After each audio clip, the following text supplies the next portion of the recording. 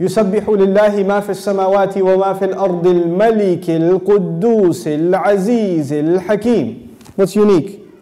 Four names. And I want to mention the basic meanings of these four names in order for you to appreciate something about this, these ayat. Al-Malik means the king. Al-Quddus means the, the perfectly pure. Al-Aziz is the third one. Al-Aziz means the authority. Al-Hakim is the wise. Okay. The first ayah of Surah Al-Jumu'ah is about Allah. The second ayah of Surah Al-Jumu'ah is about Rasulullah sallallahu alayhi wasallam. هو الذي بعث في الأميين رسولا منهم يتلو عليهم آياته ويزكيهم ويعلمهم الكتاب والحكمة وإن كانوا من قبل لفي ضلال مبين. The second ayah, I'll translate in a second, is about the Messenger of Allah sallallahu alaihi wasallam. One of my favorite ayat of the Quran because in this ayah is a summary of the entire seerah of the Prophet sallallahu alaihi wasallam. Now in this one ayah, Allah talks about the way that the Prophet ﷺ transformed society. And Allah mentions four steps. Hmm, where did we hear four before? How many names of Allah were mentioned? And Allah, the Messenger follows how many?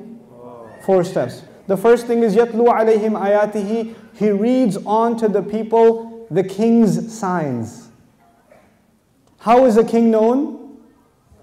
by his signs. And the messenger tells the people his signs. Notice his kingdom. You see those mountains over there? That's part of his kingdom. You see that sun over there? That's part of his kingdom. That's how you know you're dealing with a king. He's known by his signs. Number two. The second thing the messenger does, sallallahu alaihi wasallam, the ayah says, him," and he purifies them. Purifies them. What was the second name of Allah? Source of all purity. You see a connection?